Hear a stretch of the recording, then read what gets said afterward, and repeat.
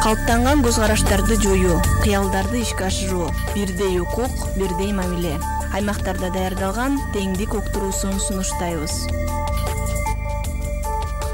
саламатсыздарбы? Сиздер менен куланак жамааттык мультимедиа борбору. Кыргыз республикасынын үй бүлөлүк кодекси. Сексен бешинчи берене жашы жетпеген балдарды багуу боюнча ата эненин милдеттери. Ата эне өздөрүнүн жашы жетпеген балдарын багууга милдеттүү жашы жетпеген балдарды багуунун тартиби менен түрү ата эне тарабынан өз алдынча аныкталат. Бул боюнча юрист айбек өмүралиев төмөндөгүлөргө токтолду. Ата эне өзүнүн жашы жетпеген балдарын багууга милдеттүү да мыйзамда так көрсөтүлгөн. Элде ошондой түшүнүк пайда болуп калган алимент десе алиментти эркек эле киши төлөйт депчи. Андай эмес атасына дагы энесине дагы тийиштүү да. Алиментти ажырашып никелери бузулгандан кийин же эки бөлөк жашап калганда баягы жалпак тил менен айтканда ажырашкандан кийин гана э, өнөт төлөш керек деген түшүнүк бар да. Андай эмес мыйзам боюнча дагы чогуу никеде туруп чогуу жашап аткан учурда балдарды камсыздабаса дагы ошол учурда да өнөт да.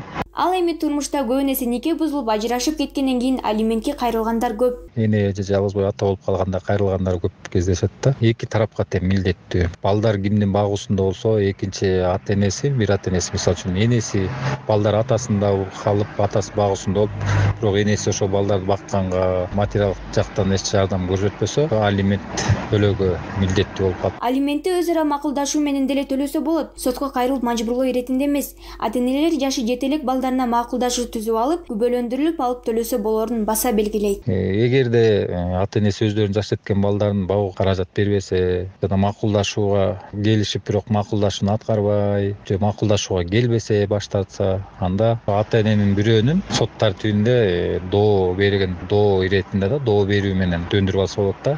Сотко айла жоктон баягы кайрылууга туура келген деп эсептесек болот да. Анткени өз ыктыяры менен бакпаса макулдашууга келип макулдашууну аткарбаса уже анда сотко доо иретинде кайрылып э, анан алимент боюнча соттун актысын чыгарып төлөтсө болот да. Ал эми алименттин өлчөмү сот тарабынан чечилип кабыл алынганда алименттин өлчөмү көрсөтүлөт. Алименттик макулдашуу болгондо жашы жете элек балдарга алардын ата энесинин ай сайын бир балага ата энесин иштеп тапкан жана дагы башка кирешесинин төрттөн бир бөлүгүн өндүрүлөт бул жерде эмгек акысы эсептелбейт башка тапкан кирешелери да эсептелиниши керек. Ошо кирешелеринин эмгек акысынын жыйырма беш проценти эки балага болсо анда ошо кирешесинин Э, үчтөн бири э, биз баягы практикада отуз үч процент деп эсептеп жүрөбүз э, үч же андан көп бала болсо анда ошо кирешесинин эмгек акысынын ай сайын тапкан жарымы өндүрүлөт ошо элүү пайыз өлчөмүндө да. Эле ушундай болуп өндүрүлөт деген эмес эми бул жерде баягы ар кандай жагдайлар да болушу мүмкүн. Тараптардын мисалы үчүн ата энелердин ошо кимисинен алимент төлөсө ошолордун материалдык үй бүлөлүк абалын дагы сот карап алименттин өлчөмү мисалы үчүн азайтылышы да мүмкүн көбөйтүлүшү да мүмкүн да. Алимент үй бүлөлүк укукта багуу каражаттары никелешүү бала асырап алуу жана башка алименттик мамилелердин негизи болуп саналат. Алимент алууга жашы жете элек балдар айрым учурларда үй бүлөнүн эмгекке жарамсыз мүчөлөрү укуктуу даярдаган датхай мырзакунова